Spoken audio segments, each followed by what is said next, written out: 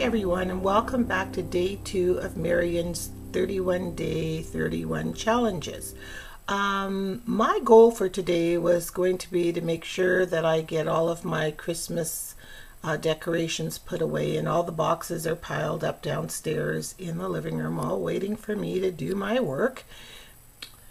But unfortunately, my um, body had other plans for me.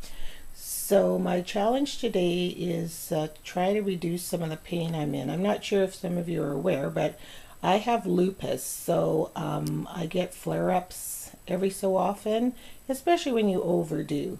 So today my challenge is going to be instead of feeling the calling of putting everything away, I'm going to sit here in my bedroom. There's a fireplace.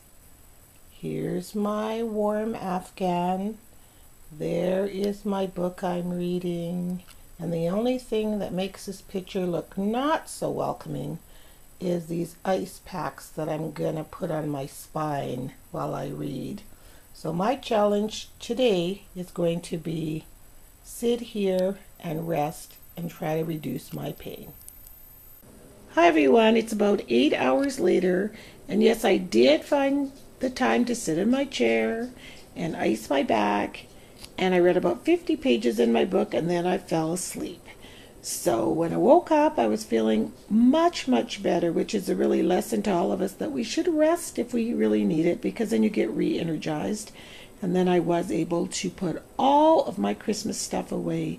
What a wonderful, wonderful, wonderful feeling. So now I'm going to walk over here to my tub and I'm going to take a nice bubble bath and we'll see you tomorrow for challenge number three. Bye!